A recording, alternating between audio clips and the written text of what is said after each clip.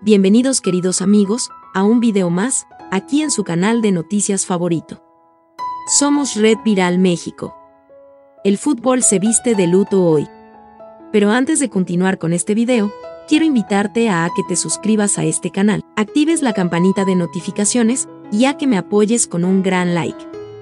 Muere Fernando Lobato, jugador del Cádiz CF en la década de los 70 se conoció la triste noticia del fallecimiento de Fernando Lobato a la edad de 67 años. Fue futbolista del Cádiz CF en la década de los 70. Nacido en Jerez de la Frontera, donde murió, Lobato jugaba de defensa e inició su carrera en el Real Betis, con el que debutó en Primera División con 20 años.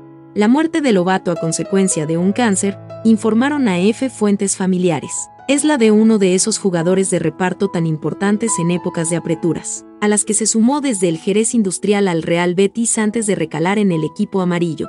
El Cádiz CF fichó a Lobato tras lograr el primer ascenso a la élite del fútbol español. Formó parte del primer año del conjunto amarillo en primera en la temporada 1977 diagonal 78, en el que desempeñó un rol importante con 32 partidos disputados, 28 de liga y 4 de copa, y más de 2.700 minutos sobre el césped. El Cádiz CF descendió esa misma campaña y Lobato siguió de amarillo en el curso 1978, diagonal 79 en segunda. Ese año jugó 11 encuentros, 5 de liga y 6 de copa, sin llegar a los 1.000 minutos.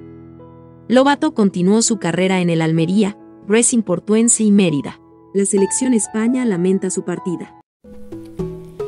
Hemos llegado al final de este video. Tu opinión es muy importante para nosotros. Te invitamos que comentes, te suscribas en el botón que ves en pantalla y haz clic en la campana gris para que sea notificado de las mejores noticias.